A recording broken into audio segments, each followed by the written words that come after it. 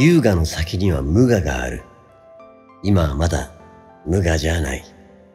僕は優雅の先の無我に入りたい。僕も含めて今の多くの世界中の人たちがどんどん携帯の中に入っている。リアルな世界が目の前にあるのにもかかわらず、その世界を自分の目で見ようとせず、携帯の画面の中の与えられた世界に満足している。これでは想像、想像のチャンネルが閉じていく。これは老化ではなく習慣と行動でそうなっていく。与えられたものでしか形成されない人生と自ら想像、想像で形成する人生。どちらを選ぶのもお前の自由だ。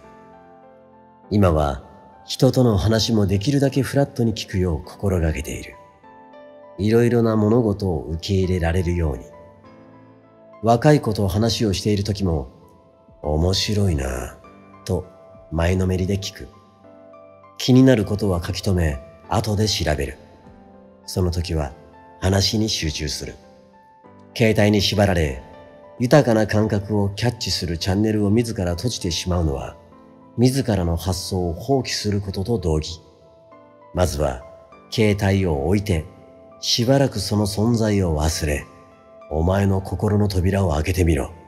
そしてチャンネルを開放する。その先に優雅な世界が見えてくる。